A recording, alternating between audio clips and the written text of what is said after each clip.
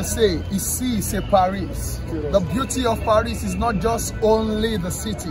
It's happening right here behind us, Ballon d'Or, where we have the likes of Lionel Messi, Cristiano Ronaldo, and the guy, the man that just won the FIFA award. You know who I'm talking about? No one else but the Liverpool defender, Van Dijk. They will be gracing the stage any moment from now. And with me here is a French journalist and who is also a sport journalist.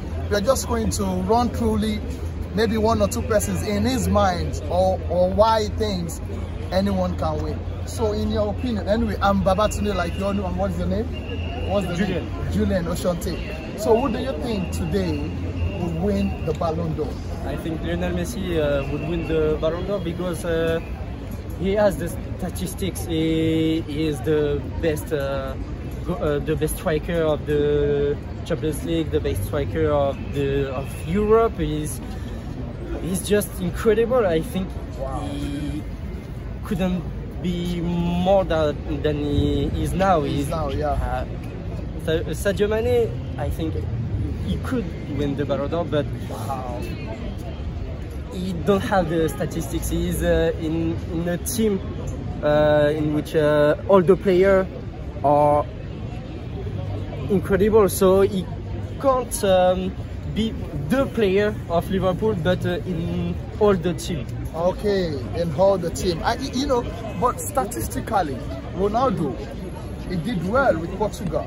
He won the Euro Champion. Lui, of, sorry, he speaks French, so I'm gonna switch to French now. En fait, euh, Ronaldo lui gagnait avec l'équipe portugaise euh, le Coupe des Hero. Mais pourquoi, pourquoi pas Ronaldo? because uh, Ronaldo doesn't have the titles. I think uh, UEFA Nations League is not a big title.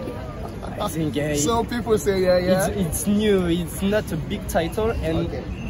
he just win the the Serie A, uh, Serie A. So, yeah, ah, yeah, yeah, yeah. and he's not the best striker of the of the year.